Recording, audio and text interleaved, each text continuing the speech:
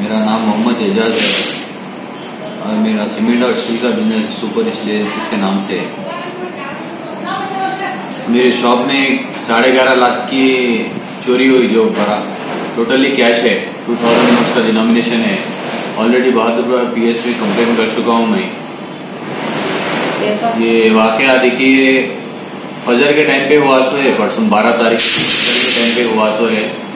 Tin shed में से चोर टीन शेड कट करके आया है।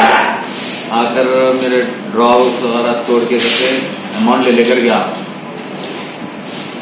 तो टोटल कितना अमाउंट था उसमें? इलेवन अबव है सर इलेवन लाख के ऊपर ही है।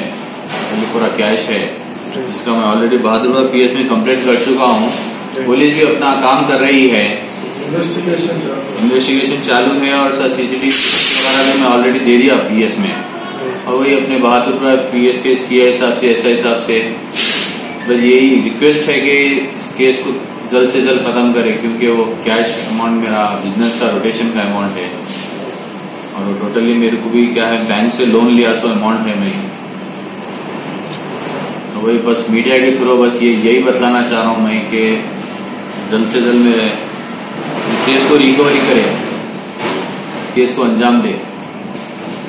ये सबसे मेरी रिक्वेस्ट है।